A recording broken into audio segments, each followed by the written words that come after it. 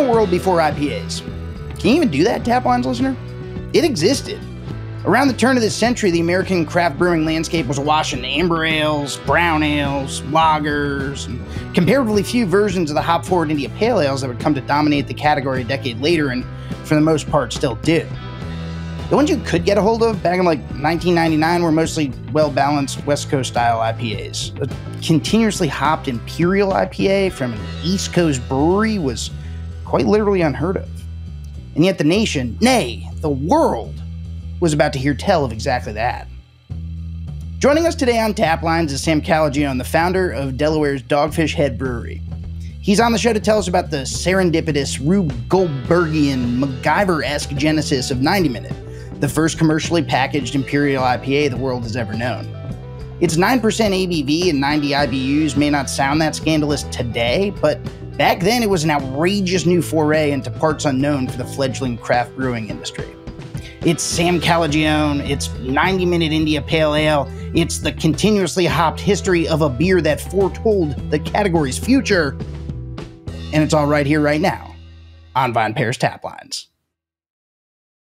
Joining Tap Lines now, it's a man who needs no introduction in the craft brewing industry, but he's going to get one anyway here on Tap Lines, the VinePair podcast. It's Sam Calagione the uh, co founder of Dogfish Head, the beloved brewery in Milton, Delaware, who's joining us uh, today to take a little stroll down memory lane. Sam, welcome to Tap Lines. Tap Lines blow away.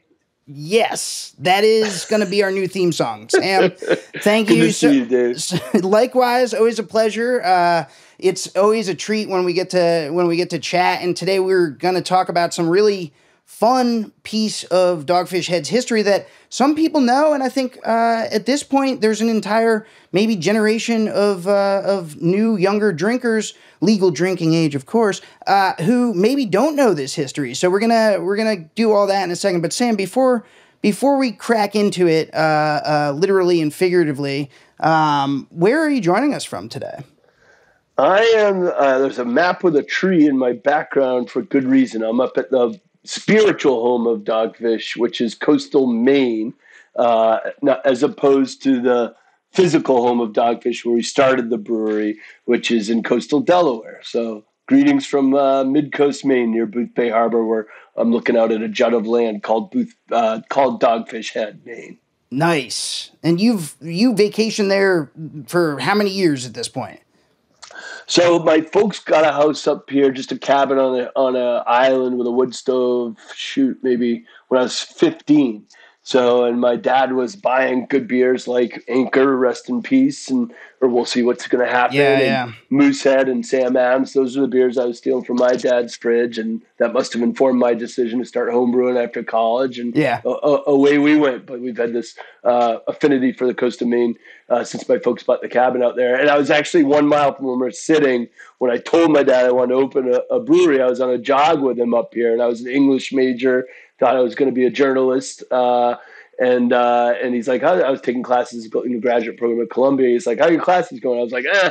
To be honest with you, I've stopped going because I'm writing a business plan to open a brewery after he paid for my college education. And he was quiet for a minute while he was running, and then he looked up and he pointed at a sign and said, "You know what? Dogfish Head would be a good name for a brewery." So I got his okay to go on this journey and, and the name of our brewery in, in one one fell swoop.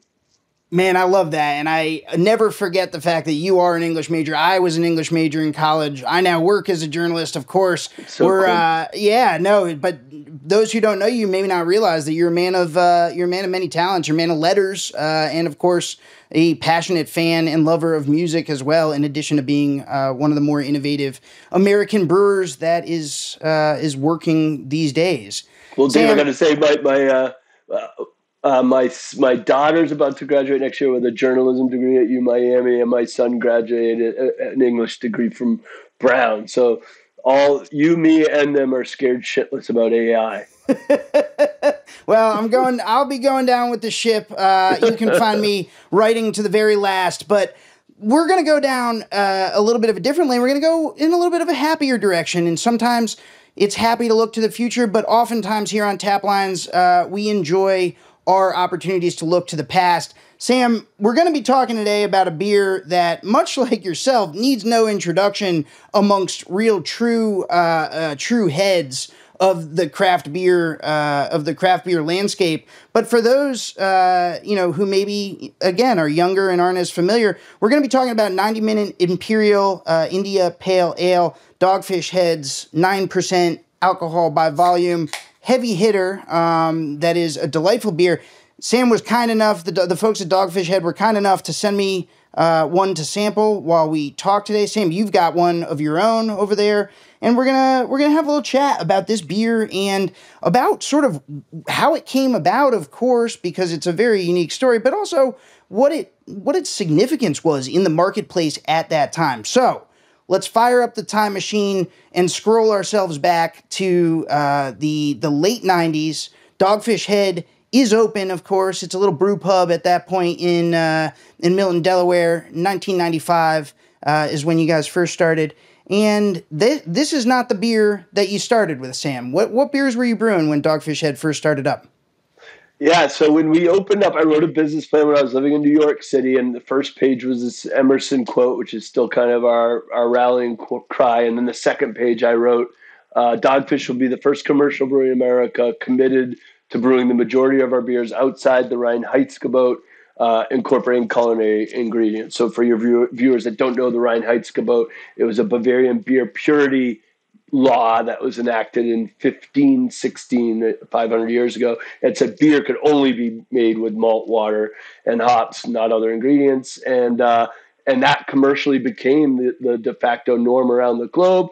And with craft brewing in America, we started brewing these fresh, robust, unpasteurized beers as a community in the 70s and 80s. But no one was really focused on bringing unexpected culinary ingredients into commercial brewing, and we decided that's how we would, for, you know, create our little niche. So I intentionally opened our little tiny brewery within a restaurant that had an open kitchen, and we used the same refrigerators and stuff to put food on the wood stove and the wood oven and the wood grill, uh, as I would use those uh, same refrigerators to load them with pureed grapes or honey or raisins or maple syrup or pumpkin meat and bring them out to introduce into the brewing process. So out of the gates, our best-selling beers were beers like uh, um, raison d'etre made with raisins and beet sugars, uh, Hop, which I think was the first uh, fruit infused IPA, uh, was early Immort Ale, Immortal, uh, which was brewed with maple syrup from my family farm up here in New England and juniper berries. And it really wasn't until 90 Minute that we started making, you know, what would be recognized as, as IPA style beer. Yeah. Yeah. Chicory Stout too. I think if I'm not mistaken, right? Weren't you guys brewing? Chicory yeah. Stout was right out yeah. of the gates, 95. Yeah. Originally, until the federal government told me I had to stop, it was brewed with organic Mexican coffee and St. John's wort, making it America's first antidepressant depressant. and the federal government, uh, of course, like had it. something to say about that. And uh, like I'm sure very, very kindly and politely told you, hey, Sam, uh, stop doing that immediately.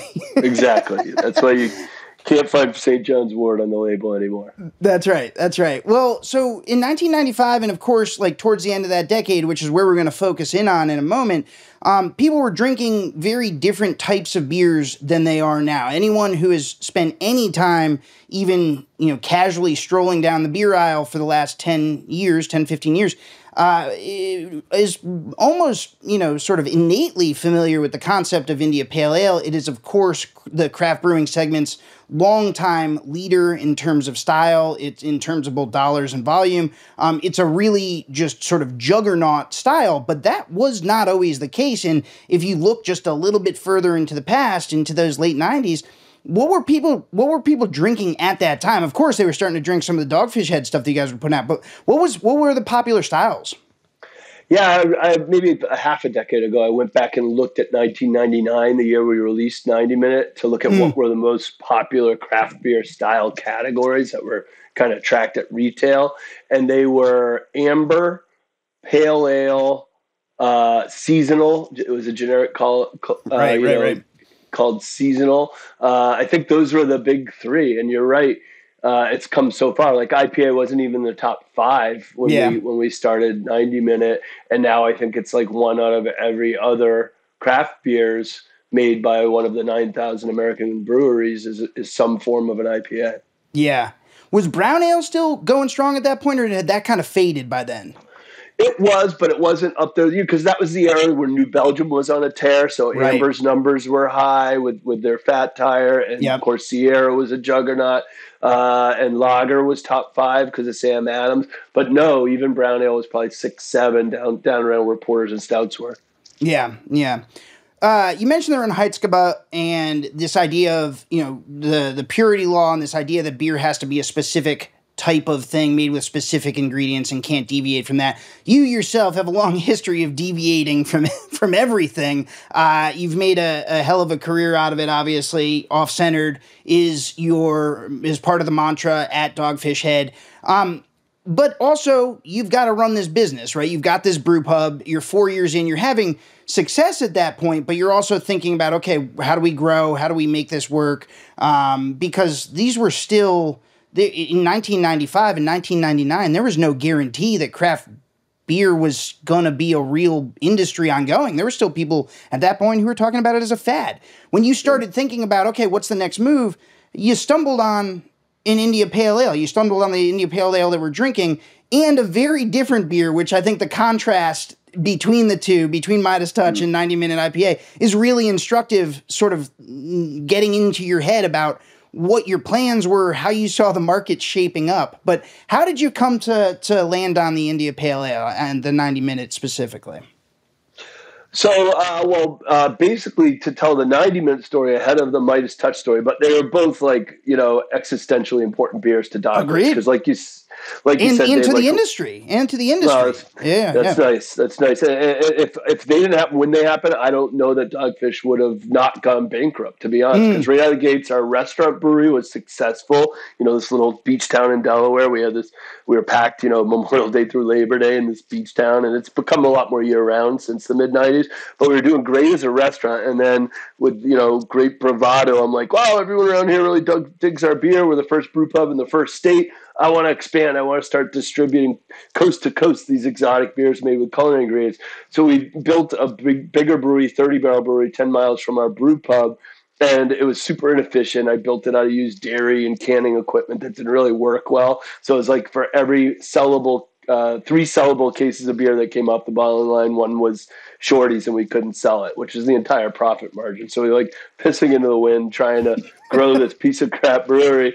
And but then in 1999, we came up with both Midas Touch and 90 Minute. We can talk about Midas later, but the 90 Minute impetus was each morning this is how i would i would start the brewing water in the morning.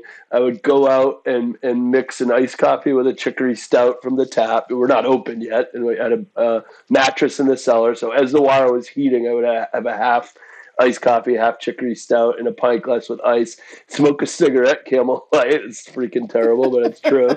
I'd have one cigarette to end and, and begin the day back then. I haven't smoked in 20 years. But uh and I'd put on a little Sally Jessy Raphael or a little, you know, morning TV and, and you know, sit there and, and chill while the water heated. And that morning I was watching some uh, culinary show. I don't know what network, if it was like a major network and they had a chef as a guest. I should have wrote it down, but I didn't. And the chef was talking about if, if he added, he was cooking with cracked pepper. And he said, if I add a little pinch of cracked pepper the whole hour that I simmer the stew, the flavor and the complexity of this black pepper will be woven in more gracefully in a nuanced, you know, in a positive way than if I had that same volume of pepper all at once. And I thought as I listened to that, whoa, you know, maybe this is an idea I can bring into brewing because traditionally with beers, particularly IPAs, there's an early hop addition for bitterness and then one at the end for aroma. What if I just add little tiny pinches of hops the whole 90 minutes that I boil this beer? and uh, and uh, and I also thought, hey, I remember being out this Salvation Army on the highway a few weeks ago. I was buying flannel shirts that the farmers locally, you know, give away. You can buy them for five bucks. And I remember seeing this thing that, that might work. So I went out to the highway, and it was a vibrating football game that some of your our viewers might remember. And I basically MacGyvered the vibrating football game, drilled some holes in a five gallon bucket, duct taped it with two two by fours going down the game, and then by changing the the angle of the game and the diameter of the holes, I figured out how to make it where it would vibrate at a certain angle where the hop pellets would be released out the bucket, down the vibrating game, into the boiling beer because I had the, this contraption set up on a on a, a step ladder over my five barrel brewing system. So uh, it was a, a, an idea that I was like, I don't know if it's going to work, but it, it, did. And we continued to hop the beer for nine, 90 minutes. We made it 9% alcohol and 90 international bittering units. So everything was tied to this nine theme. And uh, first batch came out great.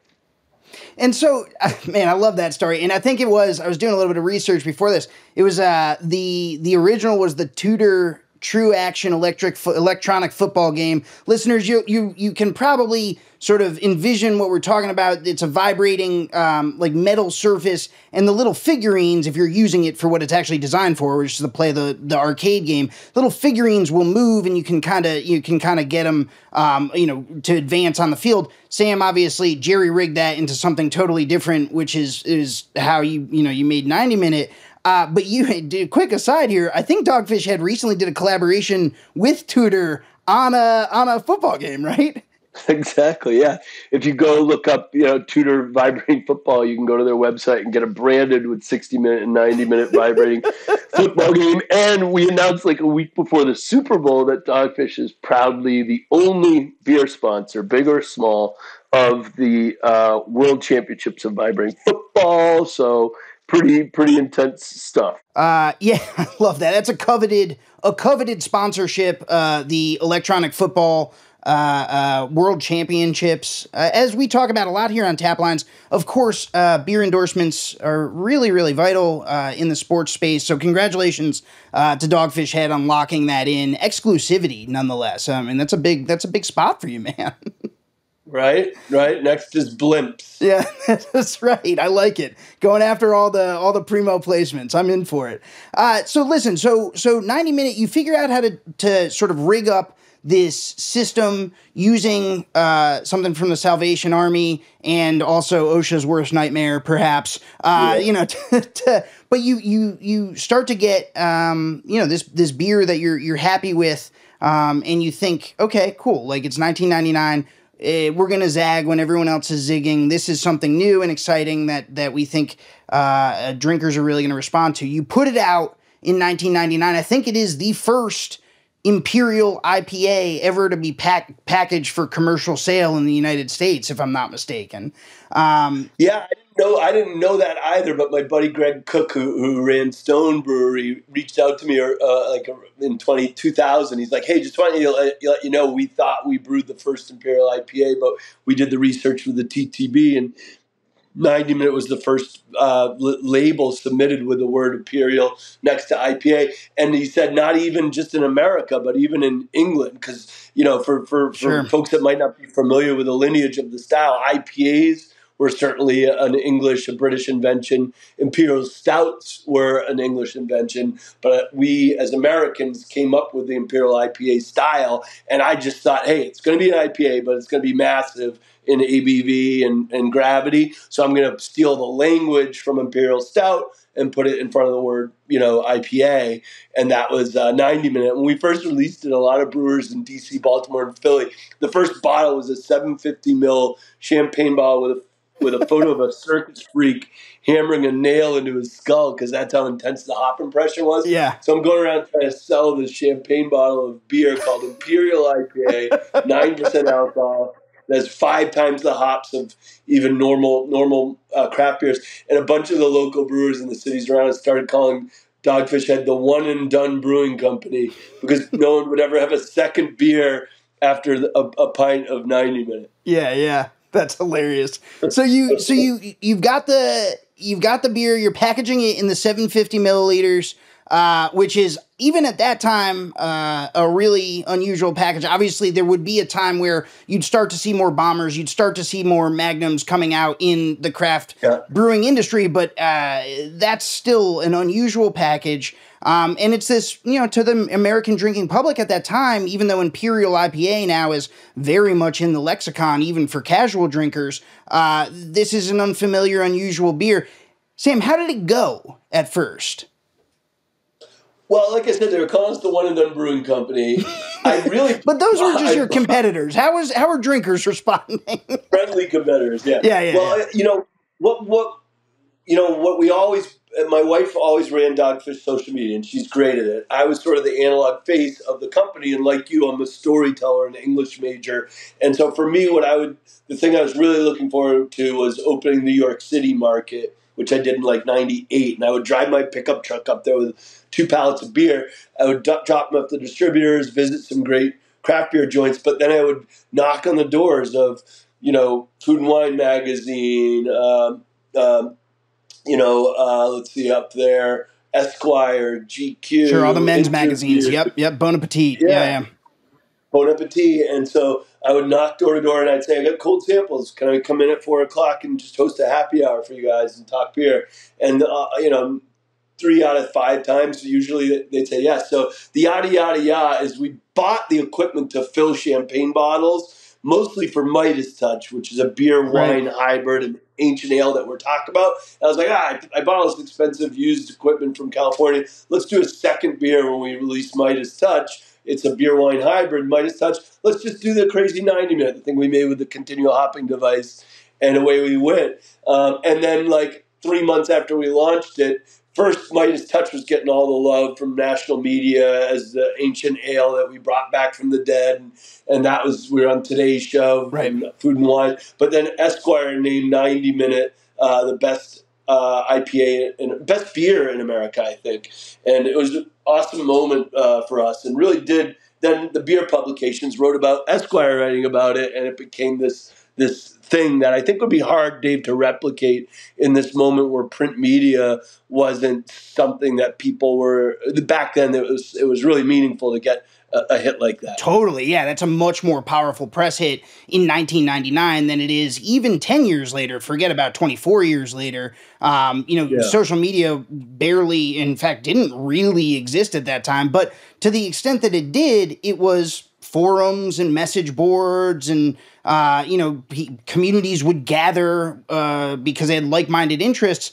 and that was yeah. if i'm not mistaken uh, that was part of where 90 minute first really kind of found its its traction right i mean you guys got uh, a lot of love yeah. from I, I it was either it must have been beer advocate at the time right uh, which one was yeah. it yeah beer advocate yeah yeah well i, I would say like uh, what what uh, Spanx was to TikTok, you know, 90 Minute was to Beer Advocate. so, wow. Sam Calagione has the pop culture range, people. That is that is a uh, uh that is an SAT analogy for the ages.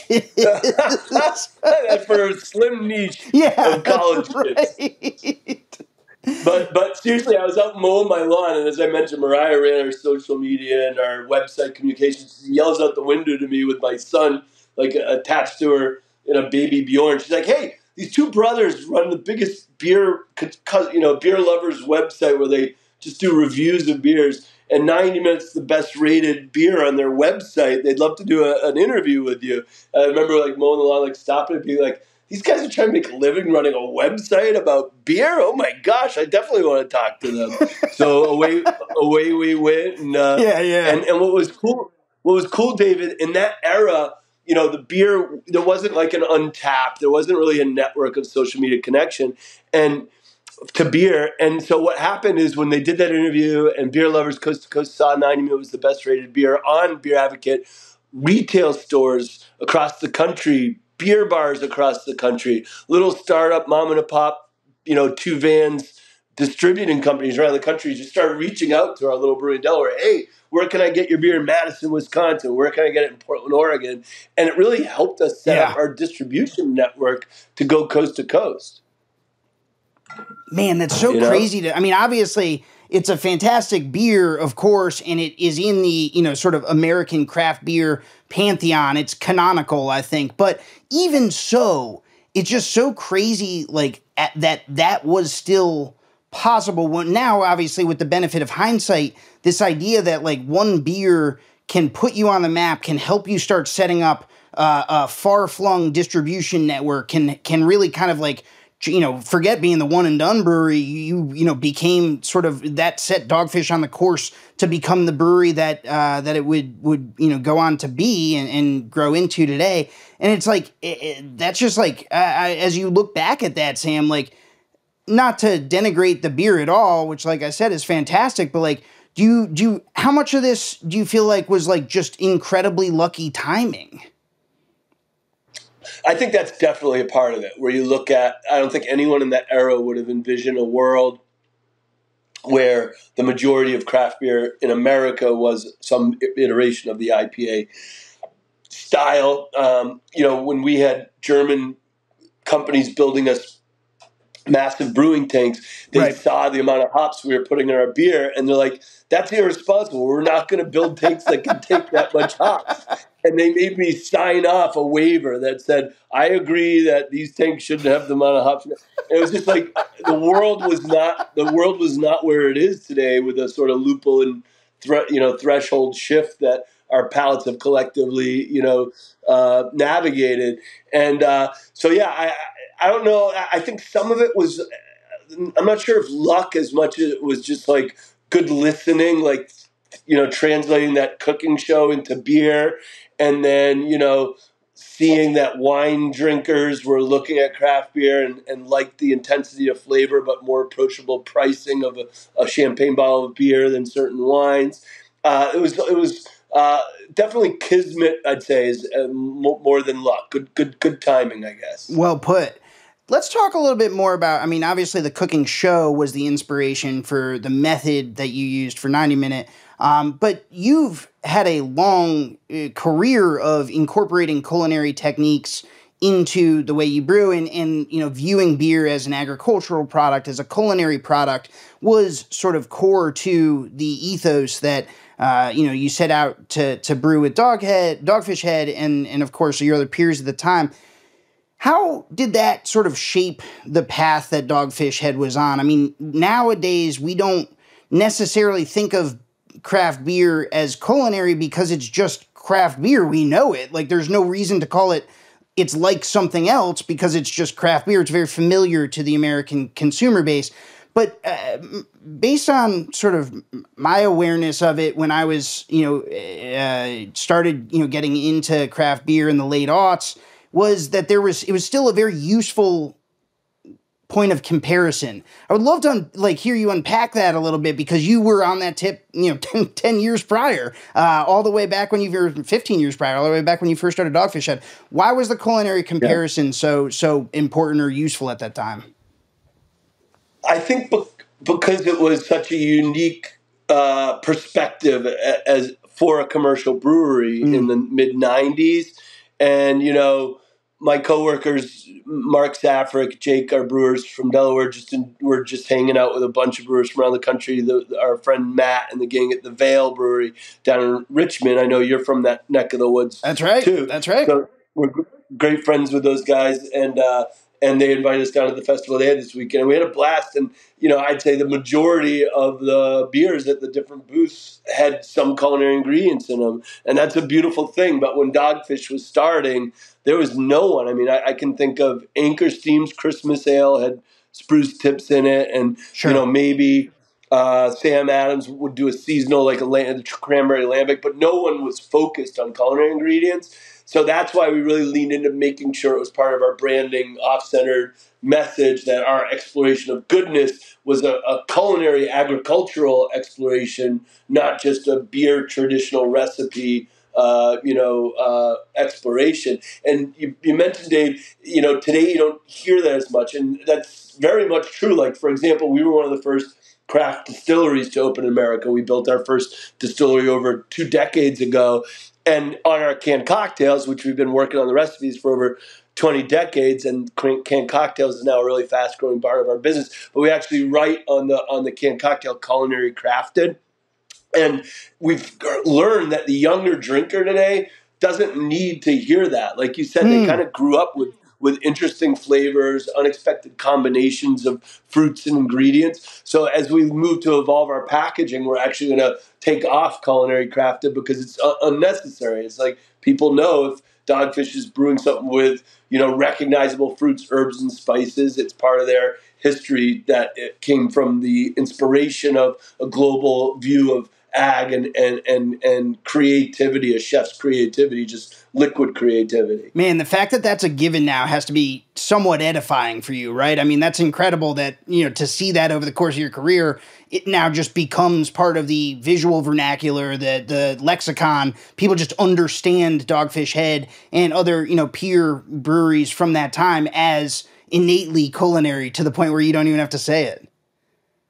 Yeah, and, and you know we're proud. You know, if you look at kind of the timeline of when that was our focus, but we're equally proud of all the uh, you know American indie craft breweries who have embraced a broader definition of of beer. You know, we just recently re- released a beer called Bodegoza with our pals uh, at, at Talea Brewery in Brooklyn. And in sure. their brewery, it's, it's two women that own it. And part of their mission is to bring people that are uncomfortable with craft beer you know stereotypes into the world of beer. And for example, for them, their best selling uh, flight is fruited sours because they'll challenge anyone that comes sure. to their building. They, you know, you don't you think you don't like beers. Try these. If you like cocktails, you might like this one. If you like white wine, you might like this one. So those culinary ingredients, I think, really help us, especially in this moment where young legal drinking age people probably some of them are rebelling against what their parents had in their fridge, and that now could be Sierra Nevada Pale, Dogfish 60 Minutes, Sam Adams Lager. But if they grew up on the era of seltzer and and canned cocktails, beers that have these culinary influences could get them to consider craft beer for the first time the younger drinkers. It's a great point. It's something you know a lot of uh, a few different folks in the industry who i trust very much to to have their finger on the pulse like you do like bart watson for example at the brewers association or er, earlier in 2023 he was presenting somewhere in new england i want to say. And that was the point that he made was you know younger drinkers are entering the their drinking journey at different points besides craft. Craft has a lot to craft beer has a lot to offer them, but no longer is this the gateway. No longer is this the necessarily going to be the default way they uh, they sort of strike off on their on their higher quality you know drinking journey. And I think like you know your point about the these culinary ingredients being uh, uh, you know really attractive and sort of simpatico with like a lot of the um, the things that those consumers are looking for, I think is is well taken and is hopefully um, one that uh, all craft breweries, all 9,700 of them across the country, are taking close note of because it definitely uh, it definitely rates. Sam, I want to take a yeah. look back. You know, we we have the benefit of hindsight, of course. You were kind enough to bring us to 1999 and, and talk about uh, um, you know how 90 minute came to be.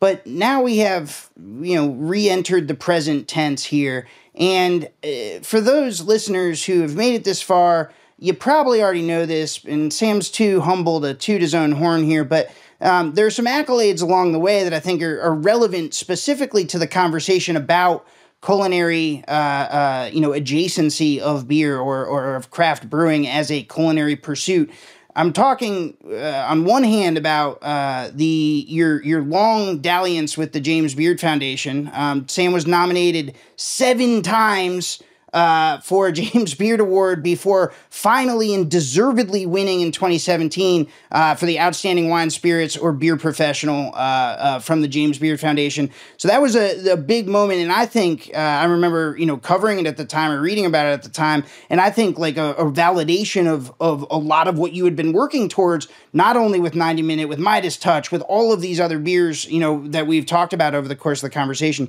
The other thing I want to bring up is the fact that the Tudor uh, Tru-Action football table, uh, the electronic football table that you first used uh, to to hop uh, those first batches of 90 minute is now in the Smithsonian, uh, the Smithsonian uh, National Museum in Washington D.C. They've got um, the uh, what is it called? It's like the American Brewing History Initiative, I think, run by Theresa McCulla. So, Sam, like, you know, obviously you don't set out to do these things. You're not chasing awards necessarily, and you're not chasing uh, uh, being entered into the permanent collection at the Smithsonian. Um, but you you did do those things. Um, it's really obviously very impressive. Like I said at the top, uh, you know you're one of the more innovative brewers I think that's working today, and you've made a huge mark on the industry. And it didn't exactly start with 90 minute, but that was one of the key early wins you had. I'd like yeah. this is a long, long wind up for my question, which is we've talked a lot about what this beer means to Dogfish Head, means to the industry, um, and means to American drinkers. What does it mean to you? It means intensity. I mean, you know, I, I drink SeaQuench and 60 Minute and Citrus Squall more frequently to 90 than 90 Minute now. And maybe that wasn't the case when I was 30 and making it. But when I, I drink 90 Minute, it is kind of a liquid time capsule. Like for me, it's like, for me, it's like the, the most like, like homage. Like I see this music video of the last 25 years of my life that – starts with the smoke clearing and the hair metal video with that first 750 mil, that first 750 mil bottle of 90 minute. It really, it really was the first moment that gave me faith that Dogfish could make a national impact on the on the beer community. Before that, we were just kind of throwing at the shit shit at the wall and trying to do something really you know punk rock esque and, and stand out in a already semi crowded field, 600 breweries back then, not 9,700. So that was like a, a, really critical moment. You know, when I think of like probably five or six moments of of on the professional side, coming up with Nick 90 and, Midas at the same time was the start. I would say coming up with SeaQuench Ale uh, was uh, equally like ex- critical in my view of amazing moments. And then, as you mentioned, you know, getting our our, our continual hopping invention into the into the uh, Smithsonian, winning a James Beard Award. Those would be four, and I'll have to think hard if there's a, a fifth. Uh, but those, those, were huge. Those were huge. Well, you let us. If you think of another one, you're always welcome back on the show.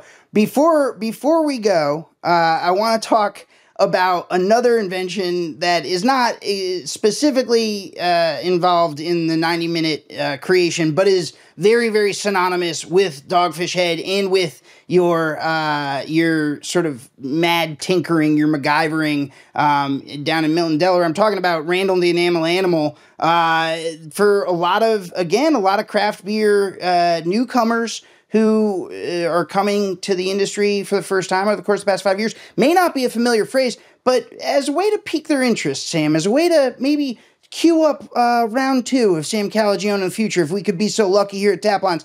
Tell us a little bit about Randall the Enamel Animal. Take us out on a on a on a high note. Tease it a little bit.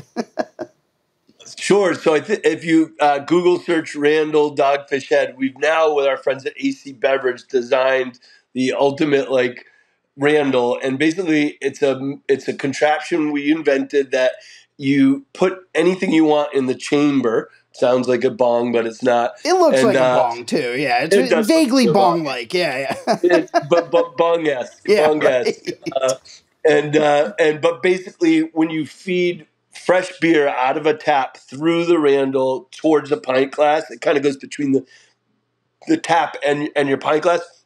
The natural alcohol in your beer uh, acts as a solvent and it pulls whatever natural, you know, essential oils on what or whatever or flavors or whatever you've loaded that chamber with. So uh, originally for us that was whole leaf hops, but we've put uh, you know sour patch kids, coffee, licorice root, uh, vanilla beans. Uh, so cocoa nibs, so lots of things. But I first developed it because we had an East Coast versus West Coast competition in, in around 2002 when Dogfish, you know, 90 minute was really just coming out of the gates and things like uh, Pliny for my buddy Russian River. Sure, the uh, yeah, yeah, yeah. And our, our buddies uh, at, at Adam Avery and Vinny and Tommy Arthur. So, you know, again, through Beer Advocate and just early social media, we're like, decided of a competition. So a bunch of East Coast brewers took a bunch of West Coast brewers on at Brickskeller, which was the first sort of craft beer OG, uh, you know, mecca in DC. And I was like, oh shit, I know these guys are going to bring some good stuff. I better come up with something. And I was at a scrapyard and I found a bunch of, you know, stainless steel food grade metal stuff stuck together. I was like, wait a second, that valve here, this valve here. And we, uh, again, my MacGyver together this machine that allowed you to kind of dry hop in real time as you were serving the beer. that's how Randall was born. But one time I was taking a Randall uh, through an airport, and I was on a, a cell phone with Mariah, and I put it through security, and I had in, in one bag, in one in one part of my bag, uh, a, a, a, a Ziploc of whole leaf hops, and on the other side of my bag, I had this chambered contraption. And all of a sudden, they had dogs around me. They brought me in a secret room in the Philly airport, and they're like, "You're going to jail for at least a year with how much pot you're smoking." I'm like, "It's not pot," and they're like, "Bullshit." They're holding the whole leaf hops in their hands like this is pot and they i guess they do some tests where they burn it and they can see that it doesn't have thc but it, it was a pretty stressful hour i was on the i was on the cusp of a cavity search i think that reminds me, we had a uh, we had Dave Burkhart, the recently retired historian at Anchor Brewing Company, who worked very closely with Fritz for three decades, yeah. uh, and he tells a story of Fritz driving around uh, the Bay Area with a bag of hot baggie of hops on his passenger seat. But in Fritz's case, he was trying to get arrested to drum up attention for using whole leaf hops at Anchor. it never worked though. Dave Burkhart said he never got uh he never got caught by the authorities. So uh, you were a little bit less lucky than uh, Fritz Maytag, the godfather of uh, American craft beer, but nonetheless, whole leaf hops look a little bit like uh, like marijuana right. enough enough to law enforcement uh, to, to to take you into the back room at the Philly airport. I'm guessing the city of you know, San Fran and Haight Ashbury, right. they, would seen garbage bags full of stuff like that before and were nonplussed. Yeah, that's exactly right. Burkhart, Dave Burkhart said that, like, eh, the hardest thing in the world would be to get arrested in San Francisco in 1971 for marijuana. It's not going to happen, you know? right. Oh, that's a great story. Uh, Sam, thank you so much for joining us for Taplines. Thank you for, for the 90 minute, of course, and for the stories. Uh, my last question for you is, you know, you're you're you're now you've reached, I would say, a pinnacle, if not the pinnacle of what can happen with an American craft brewery. Obviously, in 2019, Dogfish Head and uh, Boston Beer Company uh, become one. Um, you've got more resources at your disposal than than you've ever had in your career. I'm guessing. Uh, you know, you uh, uh, Dogfish Head is not only producing beer, but is producing canned cocktails. Has the distillery, has the uh, uh, the hotel. Um, you've got all these things going on. It's it's not the slapdash uh, fly by the seat of your pants operation that it once was in 1995 or, or 1999 when you first came up with 90 minute. Do you miss the the tinkering? Do you miss going to the scrapyard and picking up uh, an old rusty uh, or an old uh, football table or whatever, and uh, and, and coming up with something uh, fun to do? No, with it? and I'm wa- I'm walking out here to show you something because the reason I say no is we're still like uh, you know letting our freak flag fly with small batch brewing. Like as I told you, I'm at our cabin here at Dogfish Head. The namesake. It's got two little yeah, yeah, cabins. Yeah and, and, if you can see up there, if you look up there, is the window to the bigger cabin. Yep. And it's got a little tiny two barrel brewery that we I installed in.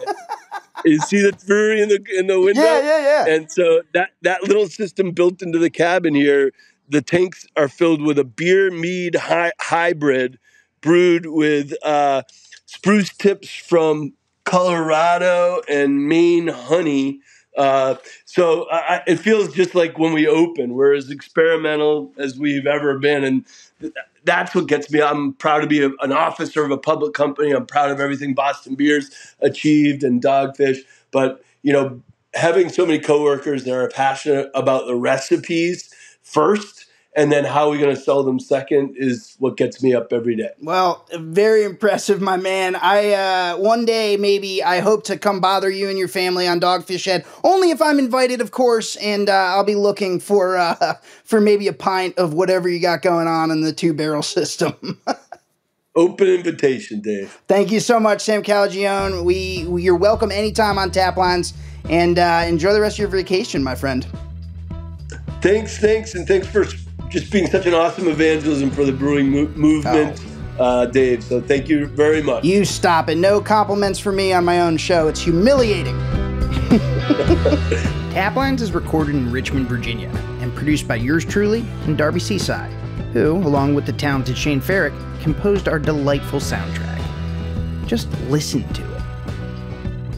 I also want to give a quick shout out to the entire VinePair team, and especially co founders Adam Teeter and Josh Malin, editor in chief Joanna Sciarrino, managing editor Tim McKirdy, and art director Danielle Grinberg, who designed our lovely Taplines logo. And of course, a big thank you to you, yes, you listener, for spending time with us week in and week out. We literally couldn't do this without you. I'm Dave Infante, and I'll catch you next time.